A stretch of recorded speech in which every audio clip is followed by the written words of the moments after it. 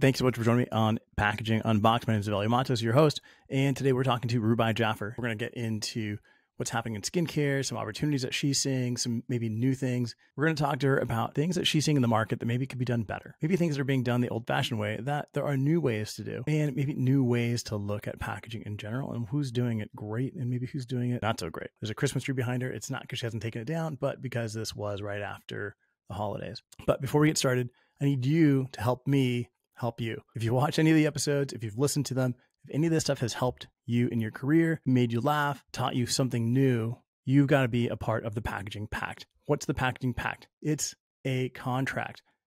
I'm not doing this for free. You've got to pay the price. The price you got to pay is I need you to go to YouTube and I need you to click subscribe. Not only that, if you're listening to this on Spotify or Apple Podcast, go ahead and hit subscribe as well. That's the packaging pact. Why are we doing that? And how can that help me help you? Because the more subscribers we have, the better guests and more content we can bring you. One last thing our sponsors for this episode are idpdirect.com, packaging manufacturers. They provide all types of packaging, shopping bags, rigid boxes, e commerce packaging, all to luxury brands all around the world with warehouses everywhere. They do all sorts of amazing stuff. Check them out, idpdirect.com. All right, let's get to the show. Thanks so much for joining us today. We've got Rubaie Jaffer. You're a graphic designer. Uh, you work with, uh, you're in the cosmetic industry mm-hmm. and you do some podcasting yeah. as well. So welcome to the show. Thanks so much for joining us. Thanks for having me. Can you give us like a quick rundown of who you are and what you do? So I'm an LA based graphic designer. I work remotely for a company called Jan Marini Skin Research and it's the skincare industry. And then in my free time, when I'm working outside of my full time role, I like to freelance. I take on branding, packaging, and illustration work. Um, right now, I've really been deep diving into music design too, so that's been kind of fun. Um, but yeah, just open to any project that will give me the opportunity to learn for the most part. So when you're talking about like music, like what, um, what specifically? So like merch design, album covers, single covers, and so on. So yeah. Okay. Is there yeah. any kind of music specifically, or like you're just open to anything? Um, I'm really open to anything, but um, I'm such an emo kid, so I'm very much into like pop punk and emo music. Um, all my friends are in bands like that, so yeah. usually help them out. Yeah. Uh, that's awesome. That's so much fun. Um, and then you just graduated in 2018. So yes, pretty recent graduate, but not really. You're kind of in that early stage of I'm building your career. Yeah, I'm already on my third job out of school too. Um, so it's kind of wild. Um, so when I graduated, I actually worked for an ad agency where I had the opportunity to work on um, big films in the entertainment industry. Uh, got to work with, on films for like Paramount, 20th Century Fox, Lionsgate, you name it. Any movie between 2018 to 2019, chances are I worked on it. Um, then that's awesome. Yeah, and then um, the entertainment industry took a big hit, and I unfortunately was laid off. Um, I'm actually really glad that happened really early on in my career because then I learned that, hey, it's not the end of the world. There's so much opportunity yeah. out there. And then I had the opportunity to step into e-commerce where I got to help brands on Amazon and we were creating collateral for them on social media and on the Amazon platform. And then I landed my current role, which is Jan Marini Skin Research, where I'm on the in-house team and we work on marketing collateral and packaging and campaign work. So it's been really fun. So interesting. So you, you were laid off at your first job. Yeah. And in the current work environment, I mean, we're seeing layoffs all over the place. Yep, left and so right. So what would be that piece of advice for anybody that's that's just been laid off, maybe fresh out of school and it's their first layoff? Like what what would be important to know? Um, don't let it discourage you. Uh, there's tons of opportunity out there and honestly just focus on creating concept projects and working on kind of just elevating your portfolio and the way that I see it, and this is just something that I kind of just live my life by, is everything happens for a reason. So just keep on trying, don't give up, and something good is coming your way. And if not, it's probably going to be better than what you had. Yeah, I mean, I, I kind of went through the same thing, and I'd spent yeah. years in one position. And what tends to happen is like your personal identity becomes that position, yep. right? And then when that is taken away, all of a sudden you go through this who am I? You yeah. know, it's like, oh, absolutely. Yeah, yeah it, it's like it's you're incomplete, which is ridiculous. Yeah, especially it having been my first job out of college, I was so devastated. But then I, I was told literally the day I was getting laid off that like, hey, I know it's tough, but you're really lucky it's happening early on in your career so that you kind of realize that outside of your full time role, you are a person, you have a life to experience, and don't mm-hmm. let your career kind of define who you are as an individual. Like you have your own yeah. interests outside of what you do for a living. Yeah. Yeah, absolutely. Super, super good advice for anybody out there that's going through it. Yeah. Um, no matter what, though, it sucks. Oh, right? absolutely. I wouldn't wish it on anyone. yeah. It doesn't get, it, yeah, it, it's, it doesn't, you know, take the sting off, but just know that it will uh, get better. Yeah. And I mean, in my case, it got me to try freelancing full time for a while mm-hmm. and it pushed me in a direction where now I can do my full time role and freelance on the side. So it opens up lots of opportunity at the end of the day too, because you realize yeah, the world is your oyster. So that's right. So like what, what got you into design? What got you into packaging? Like, um, where so did that come from? Packaging. I actually was taking a branding class in college, and um, my mentor, who is actually a host of the D- Deeply Graphic Design cast that um, I have a segment on, Nick Longo, he is a packaging and branding whiz. And when I had taken this branding class, I didn't think about packaging at all. But then when he mm-hmm. introduced us to the fact that it's an expansion of a brand and the fact that this is an experience that consumers get to experience in store or at a restaurant. And then on top of that, in some cases, they get to bring it home and experience the brand at home. It's a full on experience.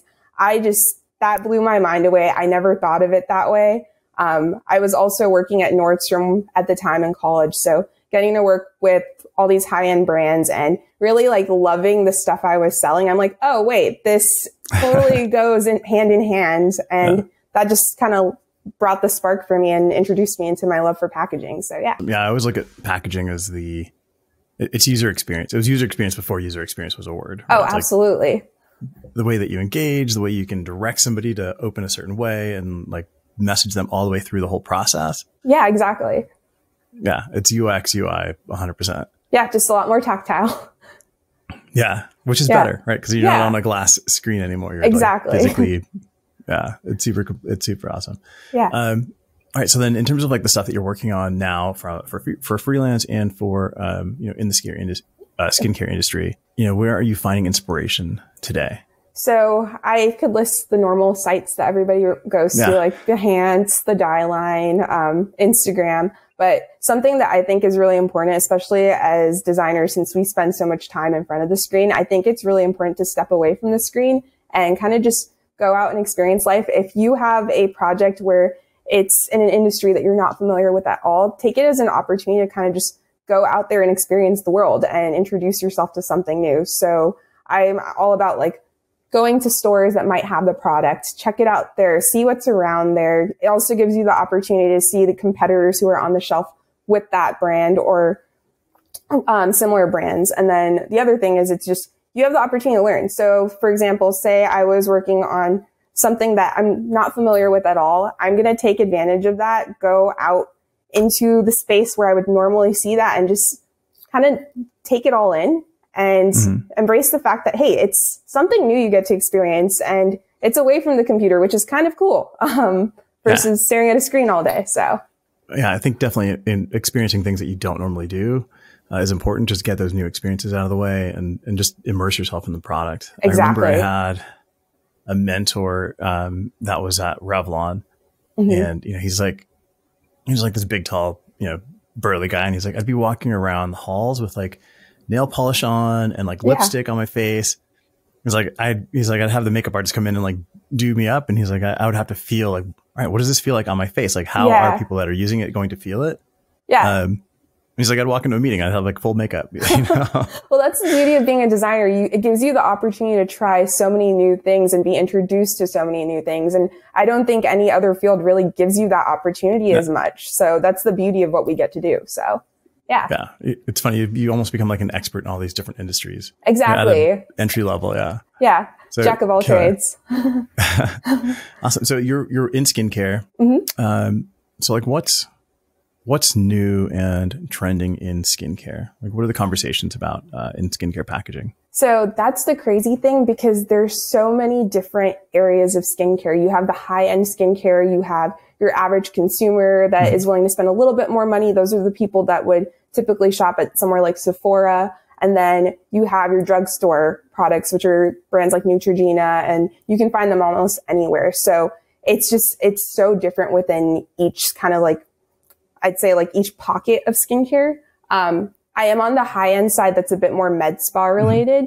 Um, and in regards to like what's trending, I would say that, um, because you want your consumers to feel as if though the brand is really trustworthy because it is high end. You're spending a lot of money. Typically, those are the brands that will have minimal design layouts and those brands, it's just, it, there's elegance to it in a sense. And then you have those high end average consumer brands, which are really fun. And you see that there's a lot of bright colors. There's a lot of just, there's a, a huge wow effect to them. Um, and it's, it's really just bringing on a at home experience of just a lot of fun. But I don't, you don't really think about the the benefits that the product has to offer. It's not really straight ahead when you look at the packaging yeah. in regards to those. And then you have your usual, which you find at like a Target or a Rite Aid. And those are just your average brands that you see doing everything from like body wash to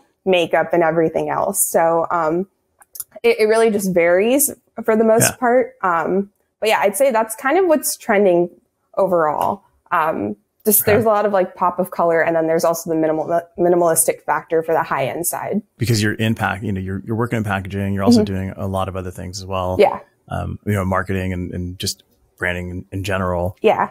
What's your favorite pack out there at the moment? What's killing it Ooh. for you right now? Okay, so this one's not skincare. It's actually a hot sauce. um, so Danny Trejo actually released a limited edition hot sauce and. Uh-huh this packaging is just unbelievable because it is a, it, it almost is as if, as if you're buying a fine bottle of whiskey. He has this like matte black box with like a copper finish for all the type and his logo. And it's just a full on experience. You are opening up this huge box and he, there's like an authenticity card that he signs. And it's almost as if like you're, you're just buying like a high end wine almost. Um, but yeah, I, I oh think it is just absolutely beautiful. And I've never seen that done for hot sauce mm-hmm. before of all things. And I'm, I'm sure because it's Danny Trejo that he's probably like taken it up a bit in regards to, Hey, cool yeah. celebrity doing this. But I think it's just so genius, um, how they've oh, done that. So funny. Yeah.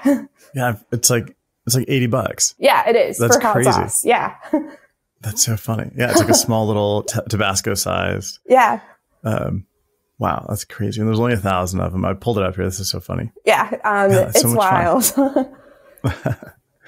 um, it's two million Scoville units, so that's pretty hot. Yep, I'm a huge like fan of hot sauce. So yeah, that's that's so awesome. Um, cool. Yeah, I was not expecting Danny Trejo's hot sauce to be on your, your hit list. yeah, super random, but it's a really good one.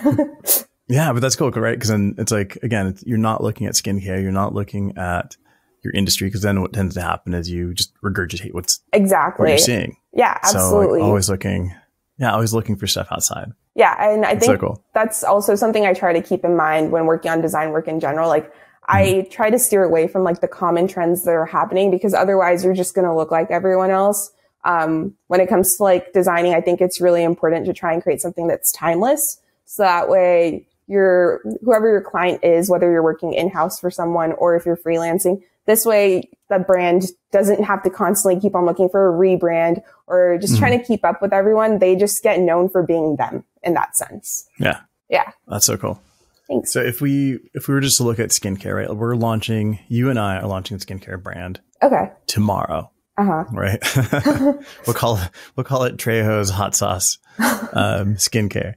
Um, where where is an area that we can innovate in terms of like skincare? What is everybody doing that's the same, and what is like an opportunity that you think would make sense as a consumer and also for uh, for the brand?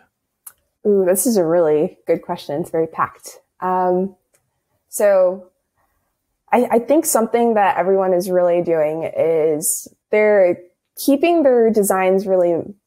It, like I said, because there's so many different umbrellas of skincare, this question yeah. can go in so many directions. Um, but for now, I guess I'll just focus on the um, high end side, I guess. Um, yeah, for sure. So in regards to the high end side, you're seeing a lot of minimalistic design and it's very formal, not as appealing. I think it's really important for them to probably step away from just the straightforward, just formal side of things. Um, something that we've done in house is try and kind of keep that formal look, but also use things around our products to kind of just elevate the brand and make it seem fun and make them make consumers realize like this is a way that you're taking care of yourself and it is a moment for you within your day to kind of just treat yourself. So, um, mm-hmm. it, within packaging, I think it's really important to do that. Like I had the opportunity to recently work on our limited edition skincare management system and we kind of stepped it up a bit and made it a bit more fun, um, for the holidays and it completely sold out, which was really great. And wow. with, with that, um, it's just kind of stepping away and kind of connecting to your consumer in that way, um, versus just being really boring and mm-hmm. plain. Um, so that's something that I think I would like to see in the high end side. And I can understand why the high end side tries to keep it really minimalistic and clean. But I do think that adding a little bit of that like pizzazz kind of just brings in consumers a bit more. So I'd, I'd like to see a bit more of that um, on yeah. the high end side of it. No, definitely that makes sense. So I had um, Steve Lamoureux, who's the founder of a company called Designalytics, mm-hmm. um, on recently, and he was just talking about how a lot of times we see like the same type of packaging. Like if you mm-hmm. launch, if you're launching a new product, you look at who the high end or who the biggest competitor is in that space, and you try to mirror, you know, mirror their packaging. Yeah, that's typically like, what happens. Yeah, he's like, don't. He's like, don't do that. He's like, they are the biggest in that space because they're known. You know, the the brand is a known entity. So, like for example, if we're looking at like Chanel skincare mm-hmm. or uh, you know some you know you you name it Dr. Perricone, yeah, you know, La Prairie, you know, that skincare is a brand that's known. And if we're launching, you know, Trejo's hot sauce because it's, you know, you're going to put on your skin, it's going to make you look hot. Um, we can't look like La Prairie. We don't have that branding. Even if we want to be, you know, high end, like we yeah. have to be ourselves. Yeah, absolutely. I also think that at the end of the day, you're, you're going to get mixed up. You're not going to remember that brand's name. If you do something to make yeah. yourself stand out, it's going to be like, oh, I remember them. Or I guess I could like, even in regards to just like your average consumer, if you look at brands like Fenty or Rare Beauty, where there's a lot mm-hmm. of these celebrities who are also in makeup, if you were to, I like they work really hard for their brand identity and their packaging, but it's also similar. They're all using those sans serifs. It's just, you can tell that it's the trend that's happening right now yeah. on that side of skincare. So, um, yeah. Yeah. Yeah. Somebody that's doing like amazing stuff out there is, um, a team called Someone and Others. Oh, I actually haven't heard of that one. You haven't? Yeah, those yeah. guys are doing it amazing. It's um, Danny is the founder of, of Someone and Others. I really consider us storytellers versus like designers because uh, we're trying to tell a story, and the best way to do that is across every single touch point. They do like the packaging for Starface. They do um, like Plus. They do all sorts of stuff. And if you look at all the packaging that they're creating for for skincare, yeah, it doesn't look like anything else. It doesn't even look like packaging you've seen in any other industry because they're just trying to reinvent everything specific to the brand and the target. Yeah, I love that because um, then it shows variety on the market too, which is really important. Yeah. Yeah. And it connects with the user. Exactly. I don't know. It's just definitely kind of a, a new way to do it versus like, all right, we've done a bottle and a box. We're going to, you know, our competitors do it. We're going to do that. Like yeah. they're looking at you know, dissolvable films and the like keepsake packaging. Oh, that's so really cool. Beyond yeah, beyond like the standard goofy stuff. Anything you didn't learn in school that you wish you would have learned in school? Ooh, uh, this is a really good question because there's tons. Um, I'd say don't get too attached to your designs. I know when you're in college and you have the opportunity for concept projects and stuff, you get really attached. And something that I learned, especially because once you graduate, you're in a lot of fast paced environments where the turnaround rate is so fast that you can't get attached to your work and you're going to get mm-hmm. feedback so quick. And, um, it's just art directors are just going to tell you how it is and you're just expected to make those changes. Don't get attached. Don't take it personally. It has, your design is not you. Um, it's yeah. just what you're creating. So keep that in mind and just be open minded when you get feedback more than anything. So, yeah. Yeah. So when people are ble- being super blunt, like what are they saying? Like, what's the what hurt your feelings? Ooh, oh man, we're going deep, deep here. Um, I guess I will. When I was in the ad agency, I was just shocked because I never thought I would have art directors that were pixel pushers, but they were pixel pushers mm-hmm. and they could like notice when something wasn't centered and they were like three pixels off yeah. and stuff. And when you're hearing this constantly every single day and you're like, I could have sworn I measured it. I used the align tool and then you're, they, they're, they still manage to be right. It's, it's crazy. so, um, it definitely got me to learn how to be on top of double checking my work too. Um, but yeah, that was just something that would really get to me. And like, I would come home and I'd be like, Oh my God, I think I got told this probably like 15 times today. I feel terrible about yeah. this. Um, so yeah, that's something that really funny. hurt. that's funny. Uh, yeah. yeah. I had somebody call me a nerd yesterday and it actually hurt my feelings. I was oh, like, oh, that's, no. that's, so stupid. my kids like, I talked to my, I talked to my, my nine year old about it and she's like, but you are a nerd. I'm like, yeah, I guess so. I'm like, all, right, I'm all you got to do at the end of the day is embrace it, right? So yeah, for sure. It was so silly. Um, mm-hmm. what does a future of skincare look like without packaging?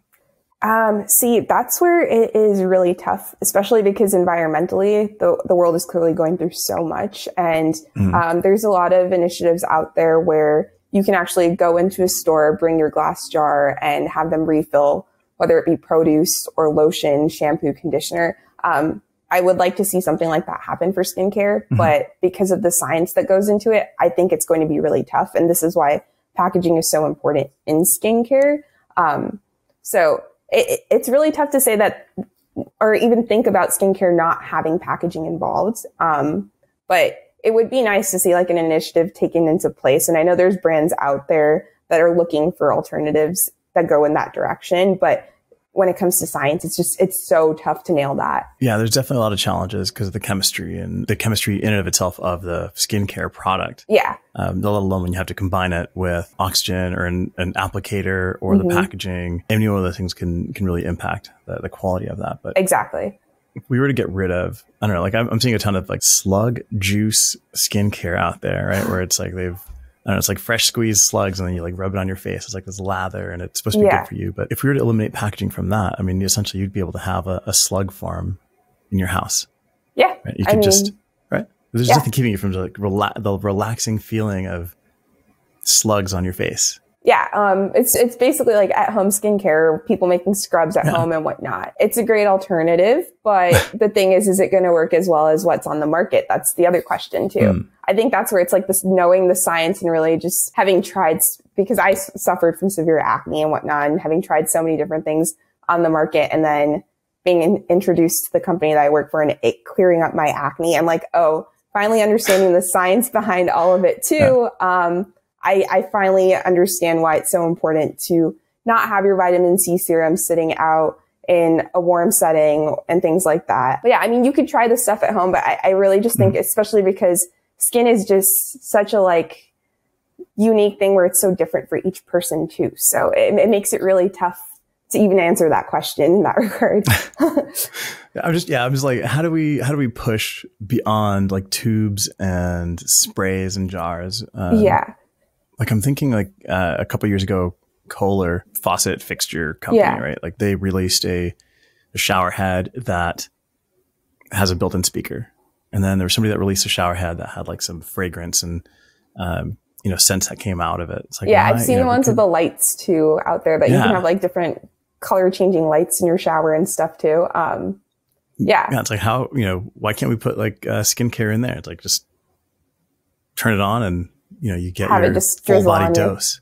I mean, right? we could, but at the end of the day, like even when it comes to something like that, you're going to have to refill mm. it for the product and things like yeah. that too. So, um, but like I've thought about it and like we've talked about it at work too, where, um, in regards to like an eco-friendly thing, why not having like a container that could probably like dissolve or something like that, or mm. not necessarily dissolve, but we'll just disintegrate and can be recyclable, kind of like the way that we compost things and whatnot, something like that, or yeah. just reusable things. Um, but at the end of the day, it does make it tough. And in regards to like that, it's also probably just like having a place to refill these items too would also be great. But if you did have a slug farm, you could compost. That is true. So much easier. Very true. So true.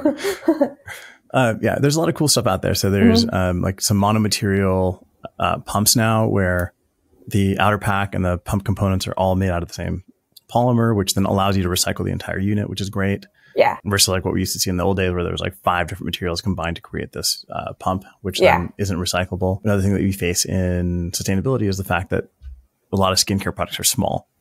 That's a that's Yeah, a huge thing I've noticed. Um, and I mean, brand that I actually use for like hair that's really great um, is Amika, where they actually sell things in like liter bottles, and then they have these um, packs, which is just like it's a flimsy little pack that has their product in there, but it's a recyclable pack. So instead of buying a whole new bottle, you're getting the actual pack, and then you just squeeze it all in there, put it back in your bottle, and then the pack's recyclable. So um, definitely seeing stuff like that. We've talked about that at work too. Mhm. Um, it's just finding the right products and then, or more so the right materials that work with the product, which is the tough part science wise. That's cool. Yeah. One thing I just learned, um, which seems so silly to have just learned it, was talking to somebody in cosmetics and they're like, um, this product, it's really small. And, you know, it's like small products don't recycle just because they don't make it through the, the processing. hmm That's another but they're thing. like, we yeah. tell, yeah, they're like, we tell our customer just, it, it's aluminum, just bend it and put it inside of a can. oh, that's cool. I didn't think about that. That's awesome. Yeah. I'm like, God, that's like so simple. Why didn't I ever think? I'm like, I'm just putting this in the landfill because you know I'm putting it in the trash because it's not going to make the recycling. And they're like, yeah, just put it in a can. Or if it's um, you know this paperboard component, just fold it up and put it inside of a bigger a bigger um, box. Yeah, um, that's actually, it's funny that you mentioned that. Um, it, it just reminded me like something that we were trying to figure out at work was one of our lo- lotions. We were just like, oh, we can take out this one portion and then just Mhm. maybe send a little pack that has like a foil um, sleeve on top and then you just put it back in the container. Um, so Yeah. stuff like that is really cool too. Um, but also just repurposing some of the jars that you're given. Like, um, I know a coworker and I, we figured out how to do that and we're like, oh, this would be really pretty to just keep your jewelry in or something like that too. So nice alternatives like that. And I guess that's the cool part about packaging where it's like, oh, if it looks nice enough, you want, you can use it for Right. something else too. And then as we kind of wrap up, like if anybody wants to reach out to you on the freelance side, what kind of work are you looking for? Um, I'm honestly open to anything. I'm a yes person, so that's the fun part. um, just because it gives me the opportunity to learn. But more than anything, I'd say like illustration work, packaging, branding, and music design are where it's at for me. Anytime those opportunities present themselves, I'm all about it and happy to help. Awesome. Yeah. Um, thank you so much. I really appreciate you hopping on here with us and just chatting through design and packaging and skincare. Yeah. Learned a ton. I'm happy to be here and thank you so much for reaching out and having me on here today.